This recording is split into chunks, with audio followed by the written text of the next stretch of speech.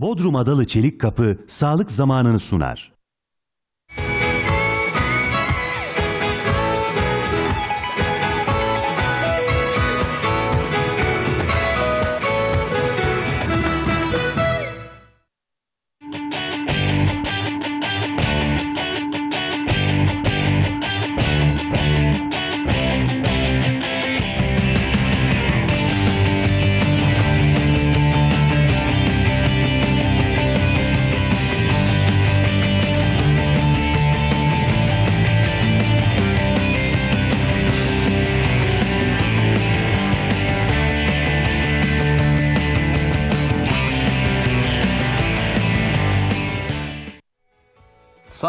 Sağlık zamanından herkese iyi pazarlar efendim. Ben diş hekimi Doğan Bircan. Ben Şenay Akay. Herkese iyi pazarlar, iyi hafta sonları efendim.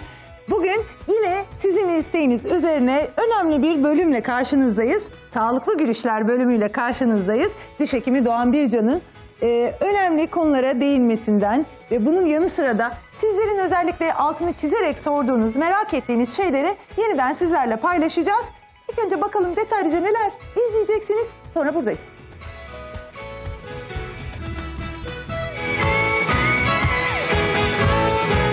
Sağlık Zamanı programı bugün diş hekimi Doğan Bircan'la Sağlıklı Gülüşler bölümüyle implant ve estetik diş hekimliği hakkında merak edilen her şeyi masaya yatırıyor olacak.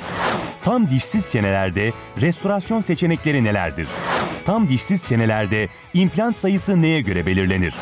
İmplant üzeri yapılan hareketli protezler nasıl kullanılır? Estetik diş hekimliği nedir? Estetik diş hekimliğinde hangi yöntemler uygulanır? Gülüş tasarımı ve pembe estetik nedir? Merak edilen tüm bu sorular ve daha fazlası diş hekimi Doğan Bircan'la Sağlıklı Gülüşler bölümünde. Az sonra. Sağlık zamanından yeniden herkese merhaba. İyi hafta sonları, iyi pazarlar efendim. Bugün Sağlıklı Gülüşler bölümüyle sevgili partnerim e, diş hekimi Doğan Bircan'la beraberiz. Az önce de e, bahsettiğimiz gibi önemli konuların altını sizler için yeniden çizeceğiz. Hocam en çok merak edilen, en çok Evet. e, sorulan e, konu tabii ki implant. Şimdi biz e, sağlıklı diş, sağlıklı ağız, evet bunları söylüyoruz ama aslında e, diş hekimliğindeki en önemli e, aşamalardan bir tanesi aslında implant. İmplantla bir başlayalım istiyorum ben. Evet e, aslında Şenay bugün sadece implant konuşmayacağız. Biraz programın sonuna doğru vaktimiz kalırsa estetik diş hekimliğinden de bahsetmek istiyoruz. Çünkü e, sevgili izleyenlerim de bana hak verecek artık diş hekimliği dendiğinde genelde e, çok büyük oranda iki başlık altında genelde hastalar bize geliyor. Bunun birincisi eksik dişlerimizin kaybını önlemek, giderebilmek için implant. Diğeri de güzel görünmek, güzel gülümsemek, bu gülüş tasarımı, pembe estetik kavramları hep söylüyorum ya ben böyle spot kelime dizileri çıkarıyoruz biz. Böyle bir anda bir furyayla izleyenlerimiz de merak ediyor. Aslında iyi de oluyor bizlere Kesinlikle gelmeleri onu için. söyleyecektim çünkü bizlerin de anlayacağı dilden konuşuyor olmanız bizleri çok etkiliyor. Bu da e, yine konuşacağımız ikinci yani programın ikinci bölümüne planladık. İnşallah zamanımız kalırsa estetik diş hekimliği üstünden de e, bir geçeceğiz bir daha. E, burada biliyorsun haftalarca program yaptık. Bu haftalarca yaptığımız programların çok büyük bölümünü genelde biz implant üzerine planladık. Bunu da yine söylüyorum izleyenlerimizin yine çok yoğun isteği, çok yoğun talebi oluyor hafta içi. E, bunun kaynağı da şu biz eksik dişleri giderirken e, ben kendi ömrümden pay biçeyim. 32 yaşındayım.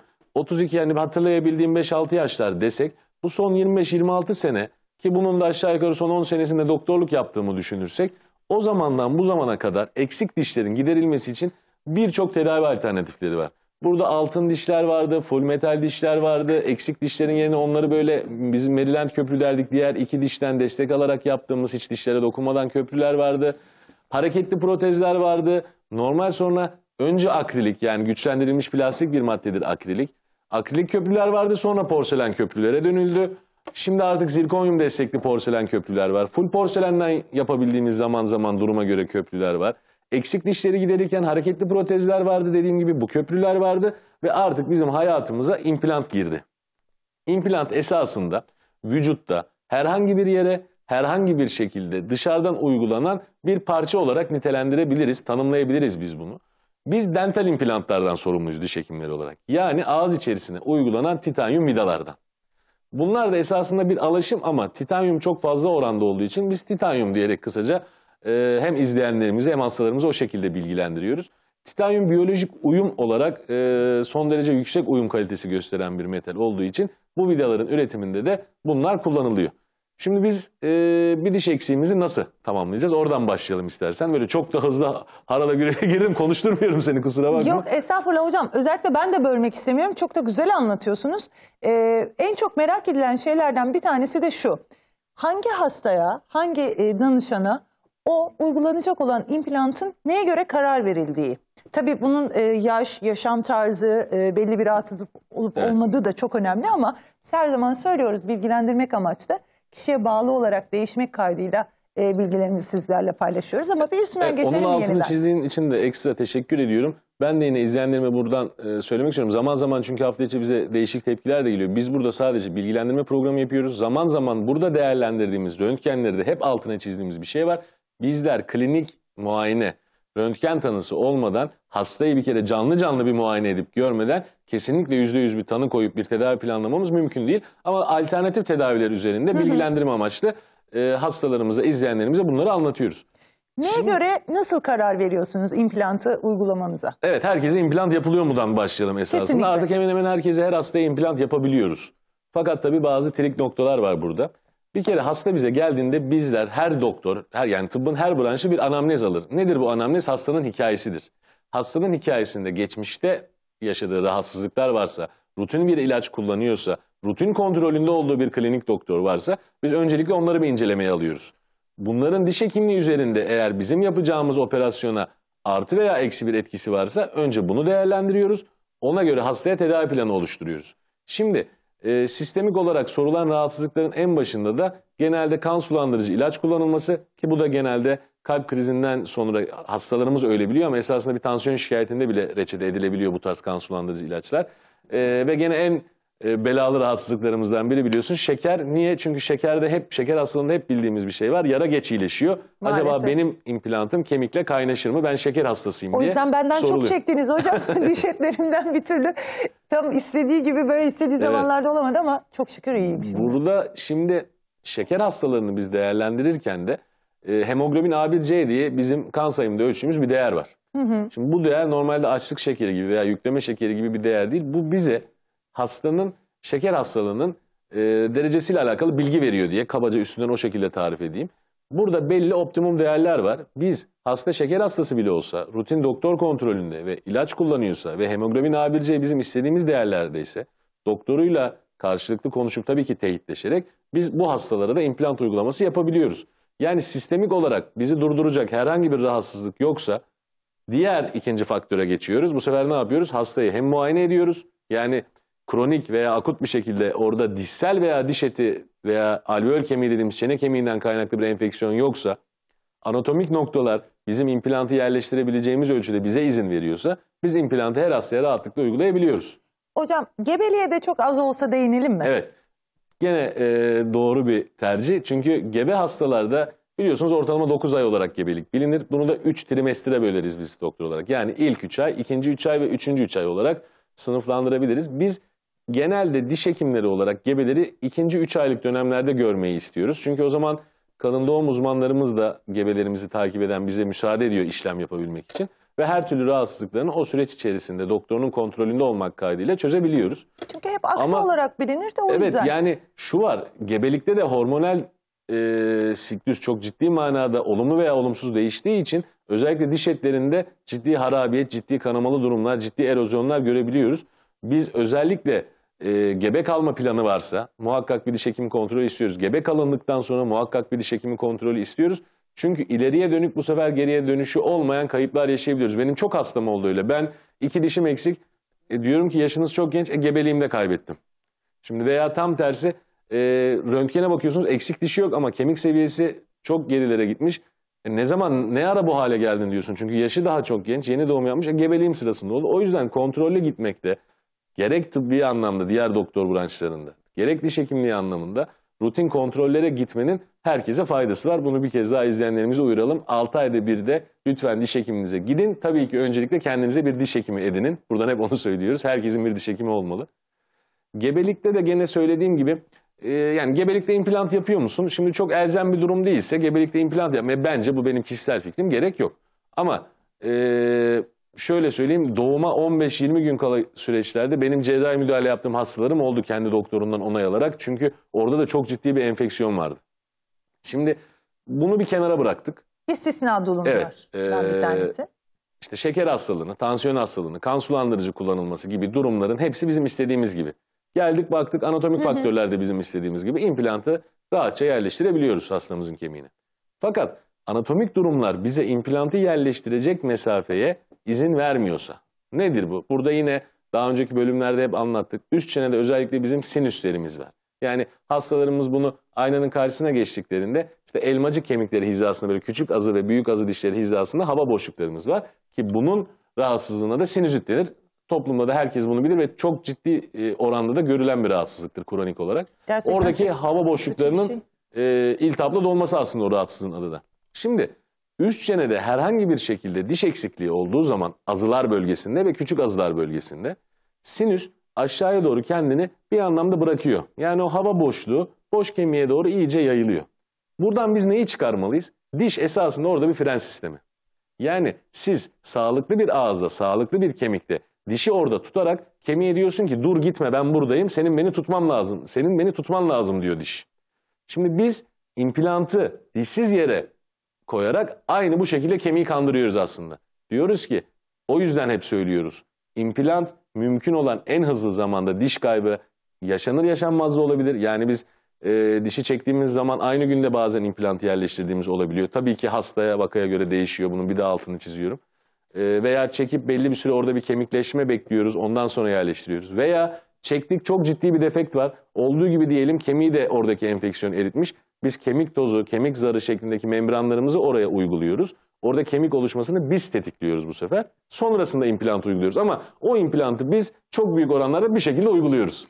Çünkü e, çoğu zaman şöyle bir şeyle karşılaşıyormuş e, hastalar.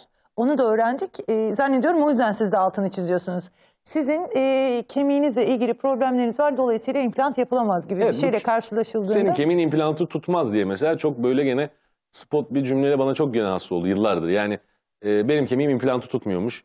E, benim implanta alerjim varmış gibi gibi birçok şey duydum ben. Alerjiyi ilk defa Evet. duyuyorum sizden ama çaresiz kaldıklarını düşünenlerin e, Maalesef. çözüldüğünü de biliyoruz. Şimdi Yeniden burada hep hatırlatmış söylüyoruz. olalım. Hastalarımızdan, izleyenlerimizden yine e, rica ediyoruz. Bu konuda uzman olduğuna, ehil olduğuna inandığınız ve öncelikle hep söylediğimiz gibi kalben inandığınız doktorlara giderek implant uygulamanızı eğer sistemik ve anatomik faktörleriniz izin veriyorsa yaptırabilirsiniz. E, ben implant yaptıramıyormuşum, ben implant yaptırdım ama tutmadı bir daha yaptırabilir miyim? Bunlar bizim çok sıklıkla karşılaştığımız durumlar. Ama genelleme yapmak gene söylüyorum buradan uzaktan hiçbir şekilde doğru değil. Biz elimizden geldiğince artık eksik dişlerde yerine implant yani yapay diş kökü koyarak eksiği tamamlamayı tercih ediyoruz. Peki neye göre karar veriliyordu ona yeniden geri dönelim mi hocam? İmplant mı köprü mü arasındaki gibi yani eksik dişi tamamlamadaki tedavi seçeneklerini soruyorsun galiba Evet. Şener. Şimdi e, değişik alternatifler var dedik yıllarca diş hekimliğinde. Diyelim ki bir azı dişi kaybettik. Azı dişinin bir arkasında bir azı dişi var ve hemen önünde de bir azı dişi var. Şimdi burada eskiden implant olmadan önce öndeki ve arkadaki diş e, üç boyutlu olarak hacim olarak küçültülüyor ve yerine köprü yapıyorduk. Ki hala bu uygulama rutinde bizim sürekli yaptığımız uygulamalardan biridir. Burada implantı yapmamanın ne dezavantajı var? Bir kere bir öndeki ve arkadaki eğer hiçbir e, restorasyon yoksa dişlerinizdeki sağlam dişlerinizi küçültmüş oldunuz. En büyük defektimiz bu. İki, az önce söylediğim kemik orada implant olmadığı zaman yani diş de olmadığı zaman her sene belli bir oranda bir küsür 1.14'ler dedi galiba yanılmıyorsam bunun da bir araştırması var. Her sene o kemik aşağıya doğru kendini bırakıyor. Yani alt çenede daha doğrusu aşağıya doğru üst çenede yukarıya doğru. Yani kemik erimeye başlıyor. Çünkü orada onun tutması gereken bir şey yok. İmplantı koyduğunuz zaman bunu siz diyorum ya kandırıyorsunuz. Ve diğer dişler de bu sefer kayba uğruluyor değil mi? Aynen. O dişsiz bıraktığınızda yani köprüyü de yapmadınız. Bu e, burada daha önce de anlattık. Az önce gene görüntülerde de geçti bir domino etkisi var. Yani buradaki e, diş kaybında siz yerine eğer dişli bir şekilde müdahale etmezseniz yani dişli hale getirmezseniz hastayı gene alt azı dişinden örnek verelim. Üstteki diş alta doğru sarkıyor. Alttaki, öndeki ve arkasındaki yani dişin komşuluğundaki dişler o boşluğu kapatmaya yönelik hareket ediyor. Ben hep hastalarımı anlatırken şu örneği veriyorum. Yani iki elinizin eklemlerini böyle birbirine kenetleyin. Dişler böyle bir biyomekanik içerisinde aslında. Yani ağzınızı kapattığınız zaman bu şekilde hareket etmemesi lazım. Ama aradan bir diş şu anda ekranda da mesela izleyenlerimiz görebilir. Burada durdurabilirsek çok sevinirim. Hepsi birbirinden Evet böyle yani hem gibi alttaki boşluğun önünde ve arkasındaki dişler o boşluğu kapatmaya yönelik hareket ediyor. Buradaki görüntü gibi üstteki diş de aşağıya doğru sarkmış. Bu sefer ne oldu? Biz üstteki dişi çok ciddi kemik kaybı oldu. Belki sallanmaya başladı kaybettik. Alttaki eksik olan bölgenin önündeki ve arkasındaki dişi yine çok ciddi manada çünkü o dişler devrildiği için ya hassasiyet oluşacak kök yüzeyi açığa çıktığı için ya dişlerde bir hareket olacak. Belki kanal tedavisi yapmak zorunda kalacağız. Belki hatta çekmek zorunda bile kalacağız. Bunun sebebi sadece bir diş kaybı. Daha doğrusu bir diş kaybının yerine tekrar diş konulmaması sonucu oluşan bir tablo bu. Yani aslında sizin söylemlerinizden kesinlikle bir tane de o bir tane dişim yokmuş canım bir şey olmaz bak yerinde duruyor ağrım da yok sızım da yok diye düşünmemek lazım. Aynen öyle. Ee, Çünkü dediğim gibi az önceki biyomekanik evet, az önce dediğim o biyomekanik ciddi manada e, bir domino etkisiyle diğer dişlerin üzerine sirayet edebiliyor. Hatta hep yine hastalarımız bize şöyle döner Şenay. Ya ben diş hekimine hiç gitmiyordum 10 senedir. Hocam vallahi sana bir geldik aylardır çıkamıyoruz. Bir sürü problem çıktı. Veya tam tersi benim bir diş eksiğim vardı. Ondan sonra bütün dişlerim birden çürüdü. Ya esasında sizin bir dişinizin eksik olması tabii ki diğer dişlerinizi çürütmez. Veya diş hekiminize gidip bir işlem yaptırmanız diğer dişlerinize problem çıkmasını sağlamaz. Ama e, biraz algıda seçicilik oluyor. Yani siz dişle ağız sağlığınıza hiç ilgilenmiyorken ilgileniyor hale geliyorsunuz. Yani 10 sene e, dişsiz gezince tabii ağızda öyle problemler yaşanıyor olması çok normal diyelim. İmplanta geri dönelim. İmplantta dediğim gibi eksik bölgede biz e, yine çok sorulan sorulardan biri neydi? Sayıyı neye göre belirliyoruz? Yani tek, tek diş eksikliği tamam bir tane koyduk. Veya yan yana iki diş eksikliği yan yana iki tane implant koyduk o da tamam. Ama mesela diyelim ki sağ alt çenemizde üç diş eksikliğimiz var. Bu üç diş eksikliğinde biz üç dişin üçüne de implant koymak durumunda mıyız? Bu genelde bizim uygulamadığımız bir prosedür. Ne yapıyoruz? esasında üst yapısını yani porselen köprü olacak şekilde planlıyoruz. Dişin o üç dişin ön dişte kalacak kısmına ve arka dişte kalacak kısmına implantı yerleştiriyoruz. Sonra ölçü alındıktan sonra da üzerine porselen köprü yapıyoruz. Bunlar da kısmi dişsizlik durumları. Şimdi bizim gene e, sen de biliyorsun çok fazla soru aldığımız konulardan biri hiç diş olmayan durumlar. Evet. Tam dişsiz durumlar. Tam dişsiz durumlarda biz e, neye göre karar veriyoruz, neye göre hareket ediyoruz?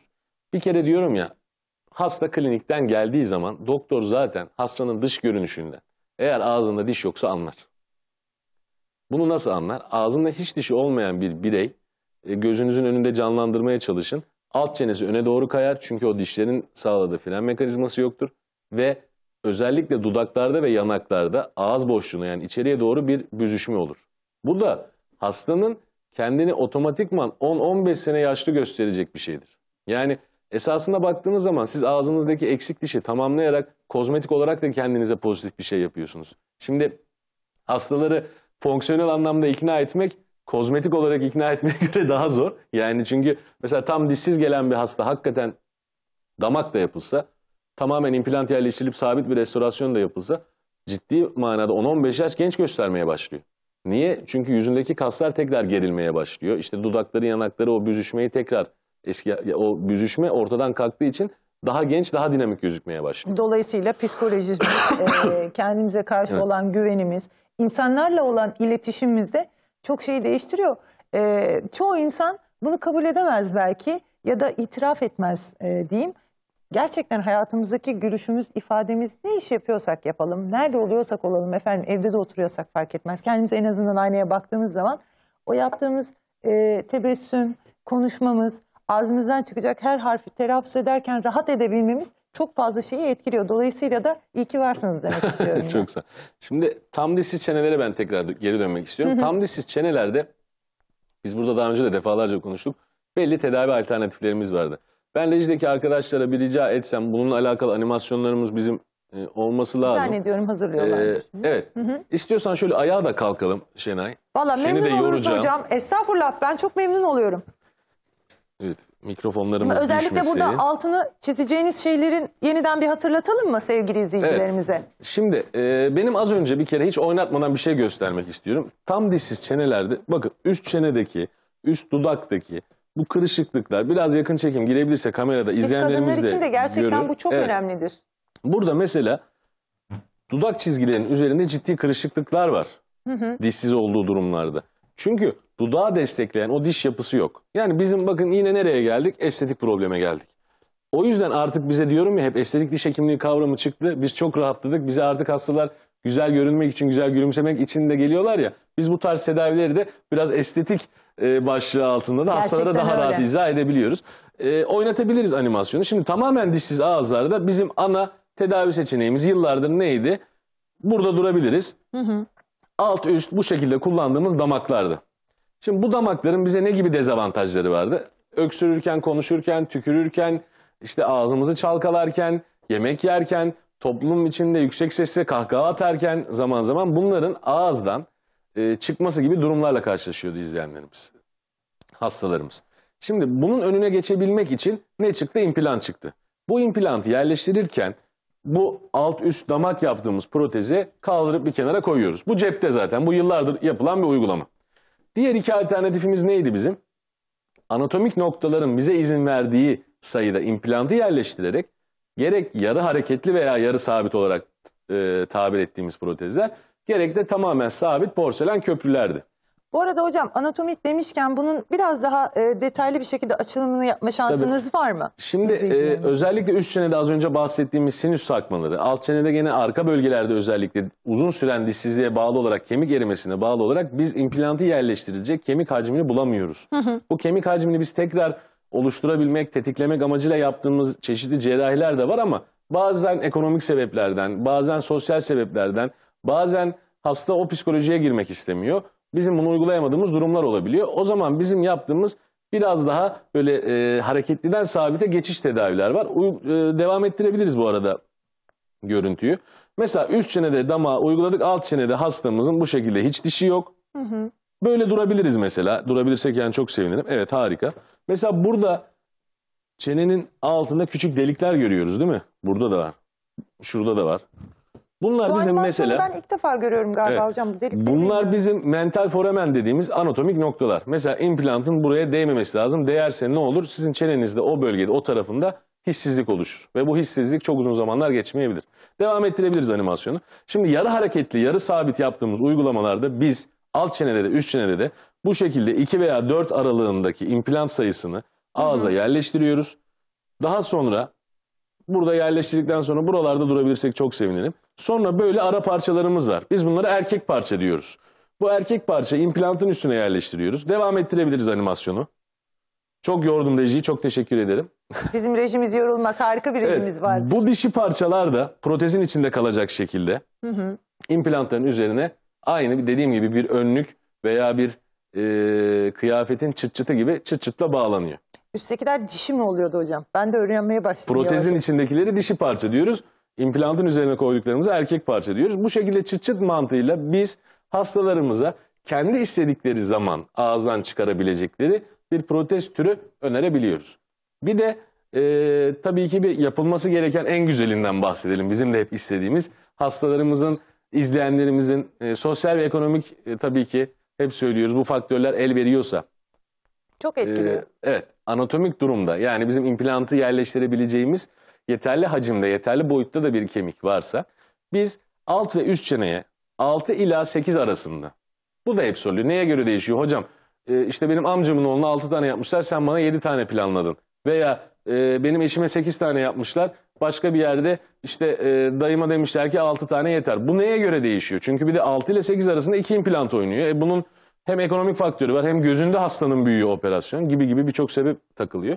Burada biz gerek çene kavsinin o anatomisi yani o kavsinin uzunluğuna bağlı olarak gerek kemiğin yine hacmine bağlı olarak mesela e, şöyle söyleyeyim röntgeni veya 3 boyutlu tomografiyi gördüğünüz zaman siz implant olarak belki yeterli sayıda e, yerleştirebileceğiniz bir alan görüyorsunuz ama boyları kısa kalmak durumunda. Çünkü bu implantların boyu da 6 milimden başlıyor 15-16 milimlere kadar. Kemiğin bize izin verdiği ölçülere kadar değişebiliyor. izin verdiği ölçülerde değişebiliyor. Şimdi bu 6 milimlere 15 milimlere arada neredeyse bir santim var. Şimdi bu bir santim de yükseklik olarak kemikte insan vücudunda ciddi bir yükseklik. Çok ciddi. O yüzden bazen bizim mesela diyelim ki 8 milimetrelik biz implantlar koymak durumundayız. Veya 6 milimetrelik bizim mini diye tabir ettiğimiz implantları bazen koymak durumundayız. Şimdi O zaman da siz implant sayısını arttırırsanız ne olacak? Gelen kuvveti ona göre eşit yaydığınız için implantın ömrünü uzun vadede, implantın başarısını uzun vadede yine arttırmış olacaksınız. Çünkü Aslında uzun vadede daha ekonomik bile oluyor belki Tabii. de. Şimdi burada e, en önemli gene izleyenlerimizin bizi kaçırmaması gereken nokta şu.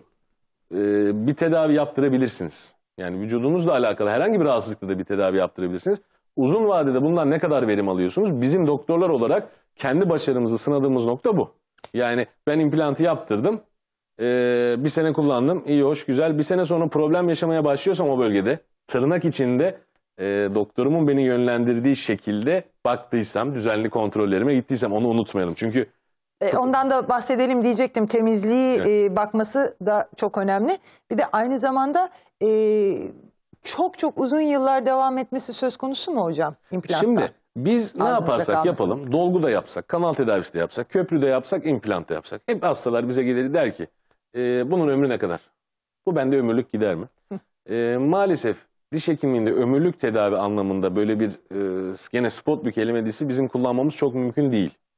Bir kere implantın üzerine yapılan porselen köprüleri, zirkonyum köprüleri siz diş kökünüzün üzerine yapılanlarla bir tutabilirsiniz. Bize hep bu ömür sorulur. Ee, ben bu köprüyü ne kadar kullanacağım? Bizim ortalama verdiğimiz süreler vardır. Çünkü burada çok ciddi bir çevresel faktör giriyor devreye, hasta giriyor. Yeme, içme, belirli rahatsızlıklar, Temizlik, yaşam biçimi. düzenli kontrolüne geliyor mu, gelmiyor mu? En önemlisi temizlik Şimdi, galiba. Öyle hastalarla da karşılaşıyoruz. Ben köprümü yaptırdım hocam 5 senedir hiçbir problemim yok. E ama şimdi hassasiyet oldu. Bir bakıyorsun 2 milim 3 milim diş eti açığa çıkmış. Şimdi o zaman da ister istemez sen hastaya soruyorsun bu zamana kadar neredeydin? Daha doğrusu şunu sormak istiyorsun. 6 ayda bir düzenli kontrollere gelince problemler küçükken hep ben hastalarımı öyle uyarırım. Bak düzenli gelirsen hem ekonomik olarak hem doktorda geçireceğin süre olarak daha minimum zararla çıkmış olursun bizden.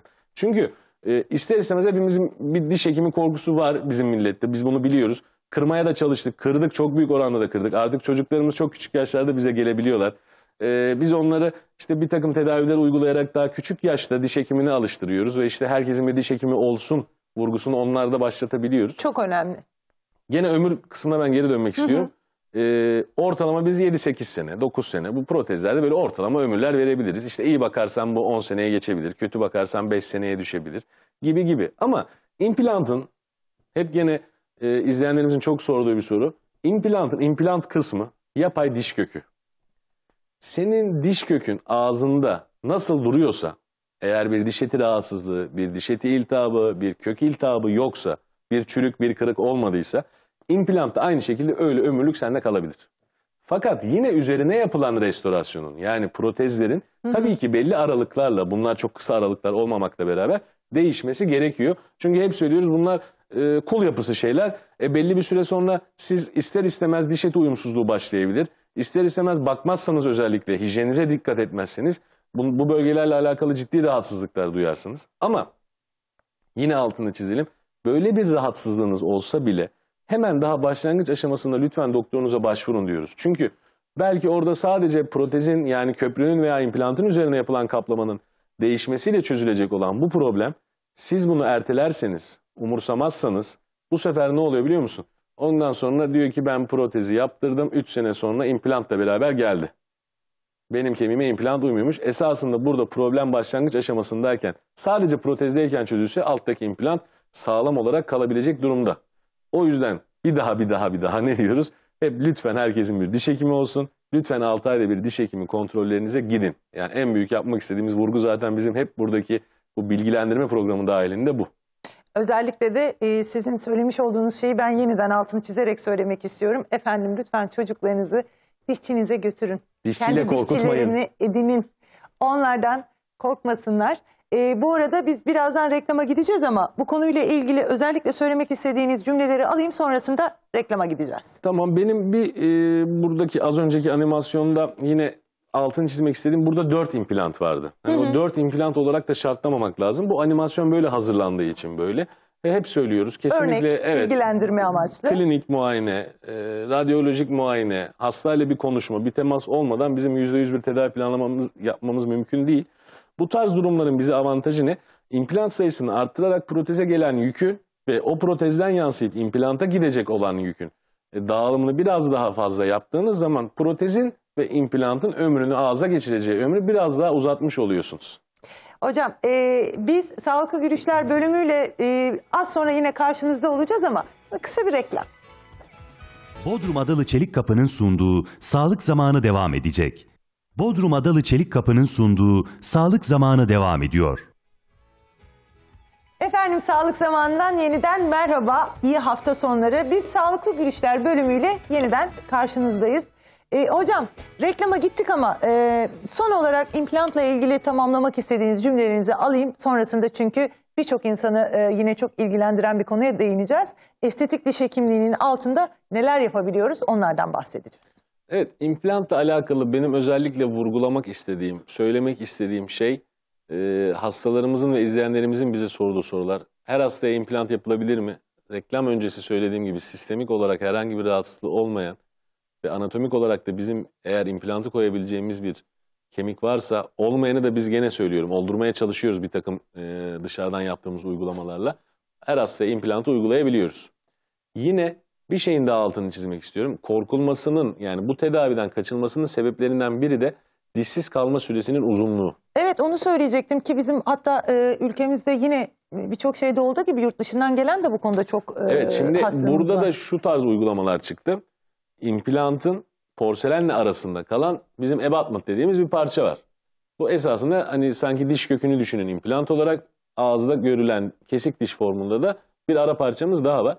Bunun da geçici olan şekilleri var artık. Biz istediğimiz kuvveti implanttan yerleştirdiğimiz anda alabiliyorsak ki bunun da ölçüm cihazları var klinik içinde. Yani implantı yerleştirdiniz, onun belli kuvvetlerde sıkıştığından eminseniz onun üzerine geçici diş yükleyebiliyorsunuz.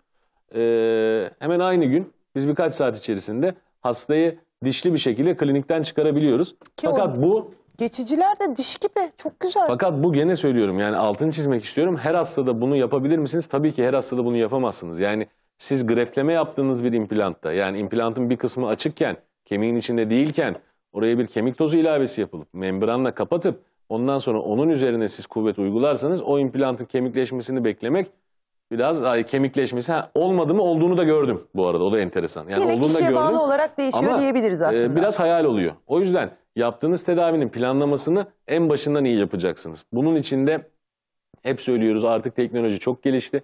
Bizim sadece iki boyutlu değil, üç boyutlu olarak da yaptığımız görüntüleme teknikleri var. Burada biz kemik hacmini üç boyutlu olarak görüp hatta öyle bir şey ki e, bir futbol maçına çıkacağını düşünün.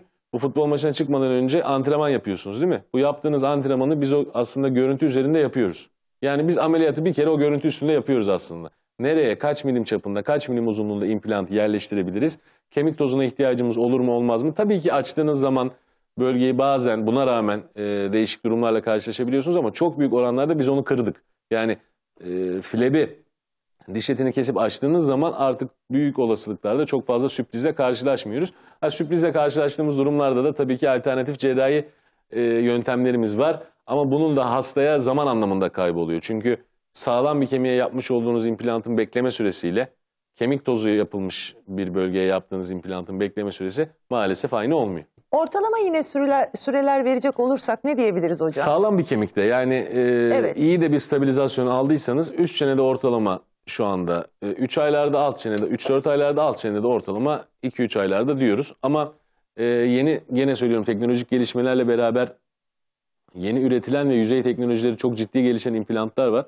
Çok daha hızlı zamanlarda uygulayabildiğimiz biz yükleme deriz onu protezi üstüne yerleştirme işlemini.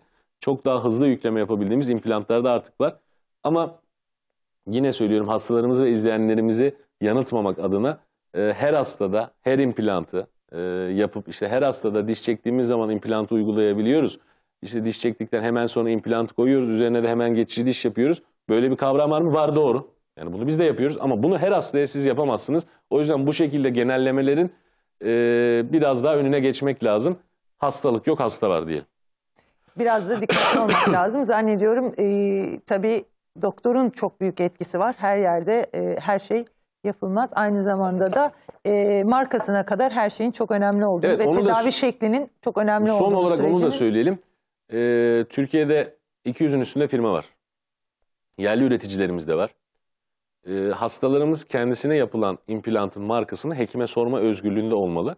Sormalı da hekimin de hatta. sormalı da ve hekimin de e, operasyon sonrasında yaptığı implantın e, üzerinde implant pasaportu diyoruz biz bunu. Aynı bizim kendi kullandığımız kimlikler gibi. Sanki bizim TC kimliğim, kimlik numaramız gibi implantın üstünde de kendi üretim numarası yazıyor. E, hangi firmadan, hangi yılda üretildiği ve kaç milimetre boyunda, kaç milimetre çapında yapıldığı, yapıldığı tarih, daha sonra üzerine yükleme yapıldığı tarih bunların hepsini yazıp hastanın eline verirseniz siz bir pasaport olarak bu hastaya neyi kazandırıyor? Bir kere her şeyden önce e, yapılan işin hangi markayla yapıldığını hasta sorgulamıyor çünkü biliyor. İkincisi yani kolay kolay insanlar aslında şey, diş hekimini değiştiremez. Bizler öyle bir doktor grubuyuz ama Çok e, doğru. Ben ölüm de var, onlardan kalım var, taşınma var, Aynen şehir öyle. değiştirme var, ülke değiştirme var. Bunların hepsinde Mecburiyetler. uluslararası geçerli olan pasaportlar olduğu için siz yarın öbür gün başka bir doktora o pasaportta gittiğiniz zaman başka bir işlem yaptırmanız gerektiğinde Farklı bir tedavi. en azından e, o doktorunuzda hangi implantın ne zaman size kaç milimetre boyunda kaç milimetre çapında yapıldığını görmüş oluyor. Heh, bana dersen ki sen ben sana röntgen göstereyim e, marka söyle. Tabii ki onu da biz 3 aşağı 5 yukarı artık e, uygulaya uygulaya uygulaya uygulaya hangi diye ayırt edebiliyoruz gibi duruyor. Ama şöyle söyleyeyim artık çok ciddi sayıda implant firması var Türkiye'de de. O yüzden bunun hastalar tarafından bilinçli bir şekilde doktorlarından istenmesi gerekiyor. E, doktor iyi bile olsa, iyi bile yapılsa eğer e, seçilen maalesef bu- bazen e, bazen maddiyattan dolayı e, Evet.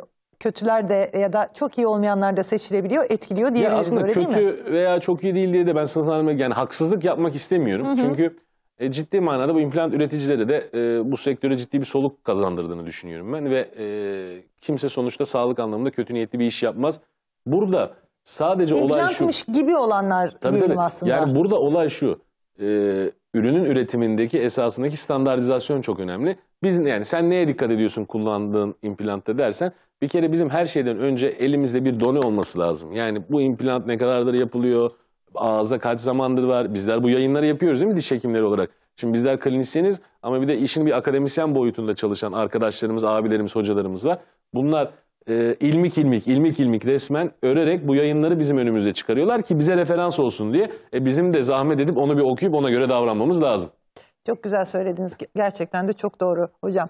Ee, şimdi tam dişsiz olmakla beraber implant e, konusunu yine izleyicilerimiz için ele aldık ama e, bununla bitmiyor tabii ki. Estetik diş hekimliği ve bunun e, altında bu başlığın altında neler yapabiliyoruz?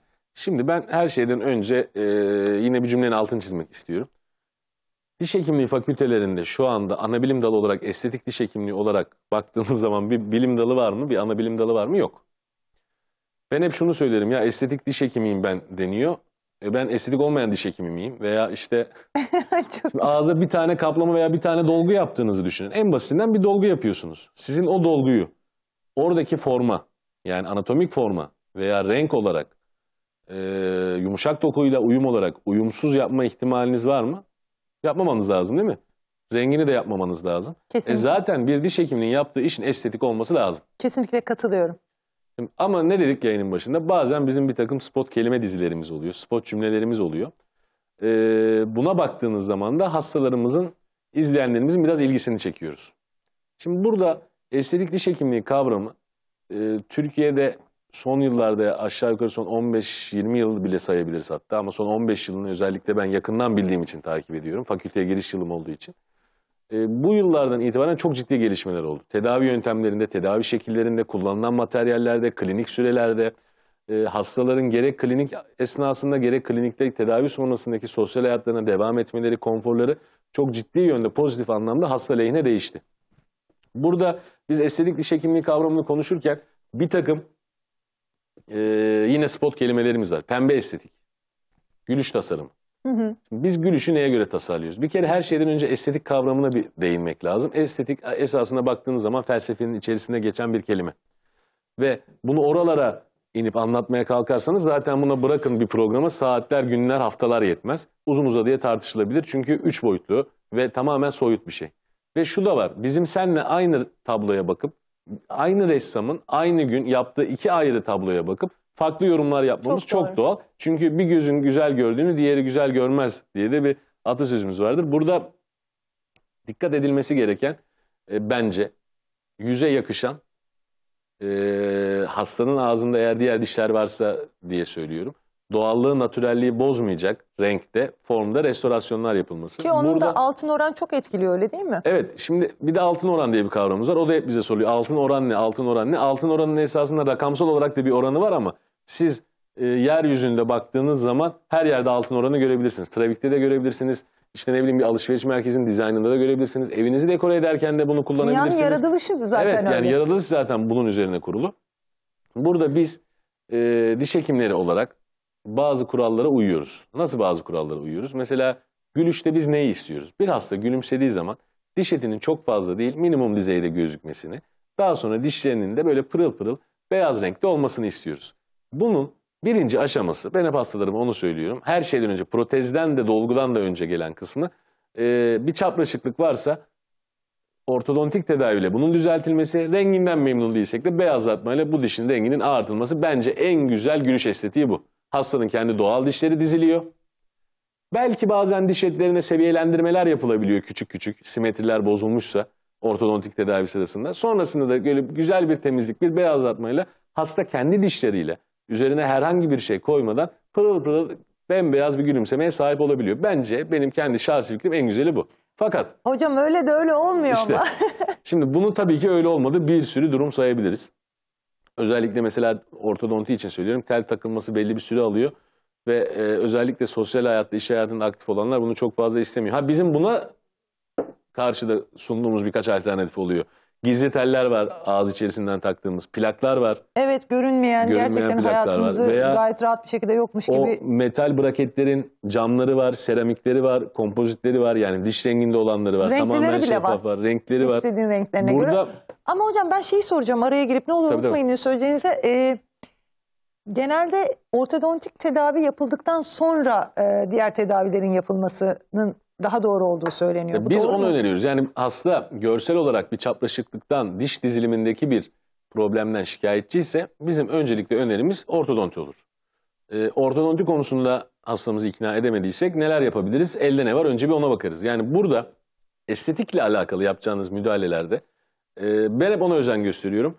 Hastanızla çok fazla konuşmanız lazım. Yani eğer sizin karşınızdaki doktor sizin istediğinizi veremeyecekse sizin o tedaviyi yaptırmanız sizi mutlu etmez.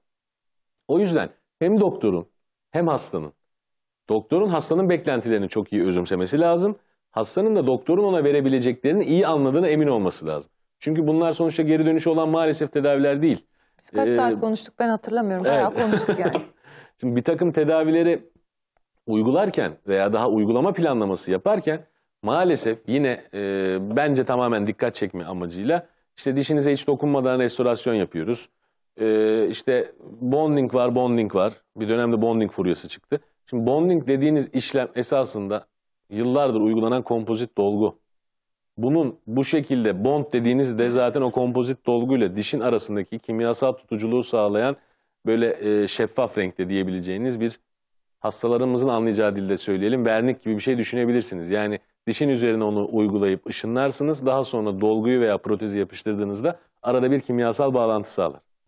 Şimdi burada yine söylüyorum bu tarz kelimeleri bulmak kötü mü değil çünkü en azından hastaların e, izleyenlerin diş sağlığıyla alakalı dikkatini çekmeye çalışıyoruz.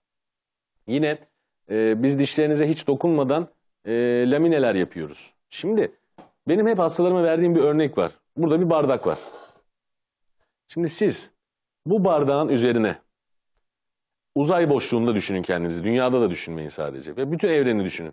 Bunun üzerinde herhangi bir aşındırma yapmadan, bunun üzerine bir ilave yaparak bu bardağın formunu bozmama şansınız var mı? Mümkün değil. Yok. Şimdi o yüzden bir şekilde dişlerde de aşındırılmalar, pürüzlendirmeler yapılıyor. Buradaki önemli detay, pozitif detay bunun ne kadar minimumda tutulduğu. Dişi 3 tabaka olarak düşünelim. Mine dentin pulpa, mine dıştaki cansız tabaka, dentin içerideki canlı tabaka, pulpa en alttaki sinir ve damarların geçtiği dişin özü. Şimdi burada mine aşamasında tuttuğunuz aşındırmalarla yaptığınız restorasyonlar farklı. Dentine inmeniz gereken restorasyonlar farklı. Kanal tedavisi yapıp onun üzerine yapmanız gereken restorasyonlar farklı. Burada e, benim en çok dikkat ettiğim hastalarımla iletişim kurarken dikkat ettiğim şey benim yapacağım tedaviyi hastaların iyi anlaması. Bu çok önemli. Yani e, ben sizin dişinizi hiç kesmeden, hiç kesmeden lamine yaptım mı diye sorarsan yaptım. Yani hakikaten öyle bir tedavi de yaptım. Ama Nasıl e, bunun için Nasıl uygun oldu? ama şimdi bunun için uygun ağzı bulmanız çok zor zaten. Yani hastanın ön dişleri geride olacak ama öyle bir geride olacak ki kapanışı da bozmayacak. Sizin koyduğunuz lamineler dudağı çok fazla da kaldırmayacak. Diş eti uyumunu iyi sağlamanız lazım. Yani böyle bir sürü bir sürü bir sürü bir sürü başlık sayabilirim size. Milyonda bir falandır herhalde. Yani bunların uygun olduğu bir hasta buldum mu dersen ben buldum ve yaptım. Ama e, bu her hastada böyle olacak diye bir şey yok. Yani her hastada diş kesmeden tedavi yapılıyor. Her hastada dişe dokunulmadan tedavi yapılıyor. E, işte benim hep takıldığım noktalar var ya yani hani normalde de konuşuyoruz seninle. Evet. Mucizevi çözüm aman bulduk gitti öldük ya böyle bir şey yok. Sağlıkla uğraşıyorsunuz. İşiniz estetik de olsa, derdiniz estetik de, görüntü de olsa sağlıkla uğraşıyorsunuz ve sizin karşınızdaki e, siz bir ahşap boyamıyorsunuz veya bir seramik imal etmiyorsunuz. O yaptığınız porseleni hastaya takıyorsunuz. Bu çok önemli. E, kesinlikle çok doğru söylüyorsunuz hocam. Bir de aynı zamanda e, belki dişe dokunulmuyor ama aslında sağlığı açısından dokunulması lazım belki de. Öyle Ya düşünmek lazım. da var. Tabii ki şimdi bir çürük varsa bir, veya eski yapılmış bir restorasyon varsa, sızıntı varsa belki de tabii ki dokunulması lazım. Veya bizim yaptığımız, e, sana da uyguladığımız diş eti uygulamaları vardı mesela. Şimdi burada siz e, hastayı ve daha doğrusu hastalığı doğru teşhis edip tedavi planını ona göre çıkarmanız lazım. Şimdi izleyenlerimiz ekranda da görüyor ne kadar güzel değil mi? Bizim biz buna master model deriz. Yani bu herhangi bir diş dizilimi için renk olarak diş eti rengi olarak da baktığınız zaman çok güzel bir ağız görüntüsü var. Ağız içi görüntüsünün animasyonu var. Şimdi gülümsediğinde diyelim ki gene rahmetli analım Kemal Sunal gülümsemesi olarak bilinir ve biz çok kullanırız Allah ismini de. Her ismini zikrettiğimiz, zikrettiğimizde de Allah rahmet eylesin demeyi unutmuyoruz. Şimdi bu tarz bir durumda güldüğünde hasta diş eti fazla görünüyorsa bizim belli tedavi seçeneklerimiz var. Şimdi bu tedavi seçeneklerinde sadece diş etini kaldırabiliyoruz. Ama diş etini kaldırırken bazen alttaki kemiği de kaldırmamız gerekebiliyor. Yine gülüş tasarımının içinde Gülüş değil mi? tasarımının içerisinde. Veya hiç bunları yapmadık, yapmadan mesela belli botoks uygulamalarıyla da güldüğü zaman dudağı yukarı kaldıran e, bir kasımız var bizim burun kanatlarının hemen altında. Oraya yapılan botoks enjeksiyonuyla o gülüş gene seviye olarak aşağıya inebiliyor. Şimdi bir e, birden fazla tedavi alternatifiniz var. Bunun için uygun hastaya uygun tedavi alternatifini sunmanız çok önemli. Özellikle yine söylüyorum estetik çok enteresan bir kavramdır. Ee, bizi izleyen doktor arkadaşlarımız da bana katılacaktır. Burada hastanın beklentisini çok iyi özümsemeniz lazım ve hastanın da size sizin verebileceğiniz daha doğrusu ona verebileceğiniz yani tedavinin sonunu iyi anlamalı ve ona göre tamam vermeli. Peki gene sorulan bir soru. Ya tamam Doğan Hoca anlatıyorsun hoş güzel de şimdi benim ağzım bu şekilde. Bu bitince ne olacak? diyor hastalarımız. Bunun için de bizim yine estetik diş hekimliği başlığında yaptığımız uygulamalar var. Yani hastalarımız tedavi bitimini tedaviden önce bazen kendi ağızlarında, bazen model üzerinde, bazen bilgisayarda görebiliyor. Bizim buna uygun yaptığımız tasarımlar oluyor. Hastadan bir ölçü alıyoruz. O ölçü üzerinde biz buna e, mock-up diyoruz diş hekimliği dilinde. E, laboratuvarda teknisyenimiz onun üzerinde incecik bir şeffaf böyle beyaz mumdan oluyor, akrilikten oluyor, kompozitten oluyor bir çalışma yapıyor. Ve onu biz alıp klinikte hastamızın ağzına yerleştiriyoruz. Bir gül bakalım, al bakalım aynanın karşısında bir bak Onlar da bakalım kendine gerçekten diyoruz. sanat yani inanılmaz. Aynı gerçek dişiniz Tabii. sanki sabit kalacakmış gibi e, Görüyor. geçici diş yapıyorlar. Şimdi İnanılmaz onun bir üstünde şey. mesela onun Çok güzel. üstünden oynuyoruz. Mesela hastamız diyor ki o anda eğer biz fonksiyonel olarak buna izin verdiysek tabii ki ya biraz daha daraltalım mı hocam? Biraz o boyunu mu uzatsak? Biraz acaba çok mu geniş durmuş gibi gibi gibi. Bunun üzerinden konuşuyoruz. Sonrasında bizim Psikolojik olarak da çok etkiliyor insanı muhakkak çünkü bir o. de bu e, hem diş hekimine hem diş teknisyenine çok büyük artı. Niye? Hastaya Sen da sonuçta öyle. hastaya da öyle öncesinde hastanın ne hisse- ne istediğini form olarak elinde var. Onu çok rahat taklit edebiliyorsun o saatten sonra. Şimdi geçici dişte nerede önemli? Özellikle iş hayatı, sosyal hayatı çok aktif olan hastalarda gene o çok sorulur biliyorsun. İşte kesik dişle mi keseceğim? Kaç saat kalacağım? Şimdi eskiden şey Vampir vardı. gibi, Evet. canavar gibi falan diye. Şimdi şöyle yapıyorduk. Mesela çok eskiden e, ağız içerisinde geçici diş uygulamaları yokken bu dediğim çok çok uzun seneler önce tabii. E, hastanın dişleri küçültülürdü. Hasta, hatta ölçü de alınırdı. Hasta birkaç saat klinikte veya bir, birkaç saat sen gez gel denirdi. Şimdi öyle veya böyle kesik dişle bir yere gitmek istemez insan. Bir de sızlıyor da. Uyuşuk olsa hocam, bile istemez. Uyuşuk olsa onu diyeceğini biliyoruz. ya, Uyuşuk olsa bile istemez. E, hele bir de ön dişlerinde kestirdiğini düşün yani öyle nereye çıkacaksın? Birkaç saat klinikte hapsolmuş bekliyordu. Niye? O iş laboratuvara gidiyordu. Laboratuvarda geçici diş yapılıyordu, geliniyordu, ağza takılıyordu falan. Şimdi Bu tarz bizim yaptığımız gülüş tasarımlarında öncesinde bildiğimiz bir model var elimizde. O yüzden o modelden de aldığımız hazırda beklediğimiz bir negatif ölçü var. Hastanın dişlerini küçülttük. Hemen klinikte o anda o ölçünün üzerine geçici diş malzemesini basıyoruz. Ağza yerleştiriyoruz.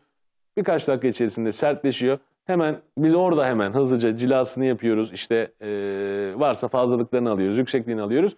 Hasta o an koltuktayken geçici dişlerini takıyor ve geldiği gibi klinikten gidebiliyor. Şimdi Geldiğinden daha iyi gidiyor.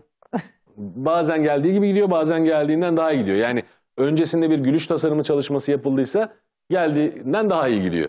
Ama mesela arka dişlerdeki işte köprülerde, kaplamalarda da biz bunu yapıyoruz. O zaman da hastanın ağzında kendi dişi varsa onun ölçüsünü alıyoruz. Onu biz kendi elimize negatif olarak kabul edip ona uygun geçici diş yapıyoruz.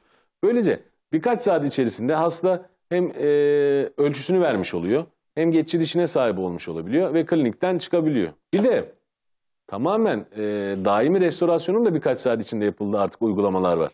Gerek klinik gerek laboratuvar şartlarında. Mesela inleon neyler var? Eskiden bildiğimiz bu amalgam dolgular var ya onlar değişti ne oldu? Kompozit dolgu oldu. Beyaz diş renginde dolgu oldu. Bir de bunların bizim bazı durumlarda uygulayabildiğimiz Kompozit çok daha rahat. porselenden olanlar var bir de mesela artık. Yani porselen dolgular var. Bunu Ee, da ölçü Hatta alıyoruz. metal destekli, e, metal desteksiz diye e, o konulara da Evet. girmek istiyordum ama e, O kadar yavaş zamanımız- yavaş evet. sonlarımıza giriyoruz. Mecbur bir daha sağlıklı gülüşler yapacağım. Ay ne güzel. Şimdi e, dişin içerisinden mesela biz dişin boşluğunun ölçüsünü alıyoruz. Hatta ölçü bile almayıp ağız içi tarayıcı, üç boyutlu tarayıcı cihazlar var artık. Hastanın ağzını o şekilde tarıyoruz. Bunu bilgisayara aktarıyoruz. Bazen klinik içerisinde, onun olmadığı klinikler kendi laboratuvarına hemen bilgisayar üzerinden göndererek orada tasarımı yapılıyor üç boyutlu olarak. Hemen e, porselen, kalıp porselenler var. Onlardan o materyal üretiliyor orada, cilası atılıyor. Hemen siz hastanın ağzına takabiliyorsunuz. Böylece e, birkaç saat içerisinde hasta kendi dişine, kendi dolgusuna, varsa kendi kaplamasına da kavuşabiliyor. Ama yine söylüyoruz bunların hiçbiri bağlayıcı olmamalı. Bunların hiçbiri e, yüzde yüz değil. Her hastada farklı tedavi alternatifi uyguluyoruz. Bazen öyle oluyor ki bizim geçici diş yapıp hastayı belli bir süre bekletmemiz gerekiyor. Yani örnek vereyim. Hastamıza bir gülüş tasarımı tasarladık ve ön 8 dişine full porselen restorasyon yapacağız. Sadece porselenle. Arka dişleri sağlıklı. Alt ön dişlerin de dizilimi güzel ama hadi onları da beyazlattık diyelim. Mesela diş eti operasyonu yaptınız ve o diş eti operasyonu dişle, diş etleri de ödemliydi. Ee, hemen ölçüyü almanız bazen sağlıklı olmayabiliyor. O zaman ne yapıyoruz? Biz geçici dişi hastamıza yaptığımız tabii o tasarladığımız şekildeki geçici dişi hastamıza yapıştırıyoruz dişlerine. Hastamız o şekilde gidip bazen bir hafta, bazen iki hafta, bazen üç hafta bizim istediğimiz doğrultuda kullanıyor. Ve kullandıktan sonra yeni geldiğinde siz tekrar ölçü alıp o yeni hazırladığınız o sıfır diş etini o restorasyonu yapıyorsunuz. Ama burada önemli olan detay ne? Tabii ki siz hastayı hem görsel olarak hem fonksiyonel olarak mağdur etmemiş oluyorsunuz. O da çok şeyi fark ettiriyor. Hocam e, son dakikalarımızın içindeyiz. Lamine zirkonyum arasındaki farkı e, isteyeceğim sizden. Şimdi zirkonyum metal materyal, desteksiz, e, metal destekli ve metal desteksiz isteyeceğim. şimdi lamine ile zirkonyumun... bitti mi? Evet, bitmek üzere. Ha, varmış varmış hızlıca Evet. hocam. Şimdi lamine ile zirkonyum arasında şöyle bir fark var. Bir taraftan istiyorsan kapatacağız gibi ayağa da kalkalım galiba çünkü son dakikalara da geliyoruz. Şimdi lamine yöntemin adı, zirkonyum materyalin adı. Lamine dediğimiz bu yaprak porselenler. Hani ben hep hastalar rahat anlasın diye şeyden örnek veriyorum. Bu takma tırnaklar vardı bir dönem. Hala da vardır belki. Evet evet Böyle hatta minnacık yaprak şeklinde. Dişlerin üzerine onu yapıştırıyoruz biz. Bu lamine. Bunda kullanılan malzeme ya kompozit oluyor ya porselen oluyor. Zirkonyum dediğimiz şey esasında bir metal, beyaz bir metal. Porselenin altında biz o eski siyah metallere tercihen onu kullanıyoruz. Bir takım bir takım biyolojik ve e, anatomik artılarından ötürü. Ama bizler dişsiz kalmamalıyız. Efendim dişlerimize önem vermeliyiz. Dişlerimize hekimimiz olmalı. çok iyi bakmalıyız. Diş hekimimizi çok sevmeliyiz. Onlar hayatımızın da sizi vazgeçilmezi çok seviyor. olmalı. Biz e, şimdilik burada sonlanıyoruz efendim. Sonlandırıyoruz programımızı ama haftaya inşallah yeniden sizlerle birlikte olacağız. Sağlıkla kalın. Hoşçakalın. Hoşçakalın.